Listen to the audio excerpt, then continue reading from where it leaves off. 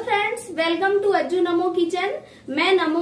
आज मैं राजमा की रेसिपी आपके साथ शेयर करने वाली हूँ। तो राजमा की रेसिपी बनाने के लिए मैंने क्या क्या इंग्रेडिएंट्स लिया है, वो मैं आपको बता देती हूँ। 200 ग्राम राजमा लिया है मैंने। मैंने इसे पाँच से छह घंटे तक सोख करके रख लिया है। इसमें डालेंगे हम पाँच टमाटर, धनिया पत्ती लिया है मैंने।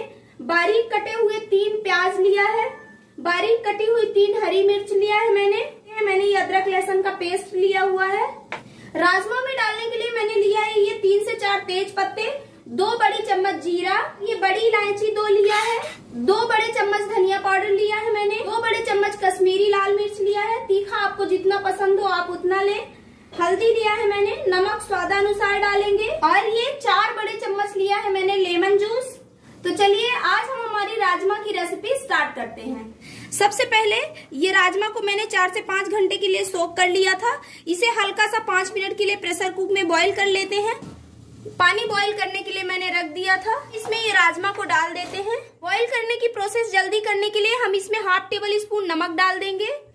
अब हम इसे ढक के पंद्रह मिनट के लिए छोड़ देते हैं। तो ये बहुत अच्छी तरह से बॉईल हो जाएगा। तब तक हम टमाटोज को काट के इनके प्यूरे बना लेते हैं। मैंने टोमेटो को काट लिया है, अब हम इसे ग्राइंड कर लेते हैं।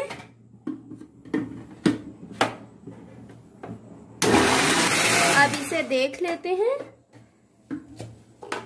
देख सकते हैं, टोमेटो प्यूरे हमारा तैयार है। टोमेटो प्यूरे तैयार है हमारा। जब तक राजमा बॉईल हो रहा है तो अब हम राजमा का मसाला तैयार कर लेते हैं। उसके लिए कढ़ाई लेंगे। कढ़ाई में ऑयल डाल दिया है मैंने। ऑयल हमारा अच्छी तरह से गर्म हो गया है। हम इसमें टू टेबल स्पून जीरा डाल देते हैं। तीन से चार तेज पत्ता डाल देते हैं। बारीक कटे हुए प्याज डाल देते हैं। एक बड़े चम्मच अदरक का पेस्ट डाल देते हैं। एक बड़े चम्मच लहसुन का पेस्ट डाल देते हैं। बारीक कटी हुई हरी मिर्च डाल लेते हैं। अब इसे अच्छी तरह से ब्राउन कर लेते हैं। अभी ये ब्राउन हो गया है तो इसमें डाल लेते हैं टू टेबल स्पून धनिया पाउडर, टू टेबल स्पून लाल मिर्च पाउडर हल्दी पाउडर जो टमाटो प्यूरे हमने ग्राइंड किया था, उसे भी डाल लेते हैं। इसे अच्छी तरह से मिक्स कर लेते हैं। अब इसे ढक के पाँच मिनट के लिए छोड़ देते हैं। अब हम अपने राजमा को देख लेते हैं। इसे चेक कर लेते हैं। देख सकते हैं, हमारा राजमा बहुत अच्छी तरह से बॉईल हो गया है। अब हम इसे ऐड कर देते हैं इसके मसाले में, राजमा मसाले के साथ। देख लेते हैं इसको। मसाले को पाँच मिनट हो गए हैं। वाव क्या खुशबू आ रही है। कितना अच्छा मसाला हमारा हो गया है। बहुत अच्छी तरह से राजमा का मसाला तैयार है। अब हम इसमें राजमा को ऐड कर लेते हैं। इसे अच्छी तरह से मिक्स कर लेते हैं।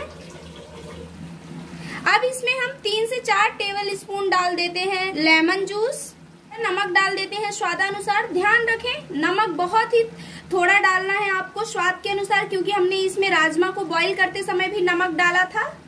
अब हम इसे ढक के पाँच मिनट के लिए छोड़ देते हैं। पाँच मिनट बाद हमारा राजमा तैयार हो जाएगा। पाँच मिनट हो गए हैं, अब हम अपने राजमा को देख लेते हैं। वाह देख सकते हैं आप। क्या खुशबू आ रही राजमा से? बहुत अच्छी तरह से बन गया है। अब हम इसमें धनिया की पत्तियाँ डाल देते हैं और अब इसे सर्व करते हैं। ये मैंने मेरा राजमा सर्व कर लिया है। बहुत ही टेस्टी राजमा बना है। आप ज़रूर ट्राई करें। राजमा चावल तो बहुत टेस्टी लगता है खाने में।